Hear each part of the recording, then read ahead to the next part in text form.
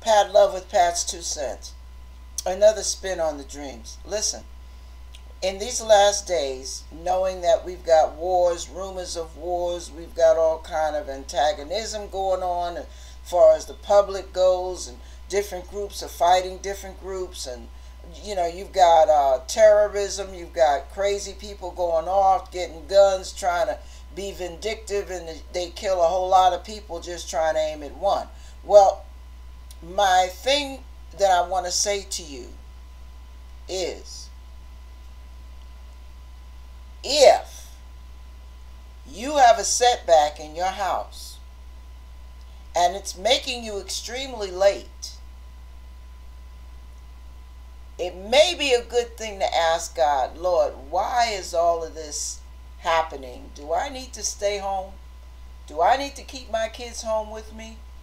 Is this something getting ready to go down that I don't know about? And we're getting ready to walk right into it, trying to be responsible? Ask God. That's why the Bible says, acknowledge Him in all your ways, and He will direct your path. Before that, it says, lean not to your understanding. See, sometimes we want to go by what makes sense to us.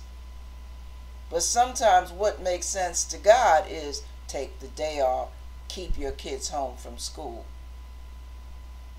And if you have a real uneasy feeling and it's been with you all night and you've been having weird dreams and you wake up and you're getting uneasy feelings, don't ignore that. I had a totaled out crash because I ignored that feeling all day long and prayed against it and thought the prayer was sufficient. No, what would have been sufficient would have been my obedience to the warning.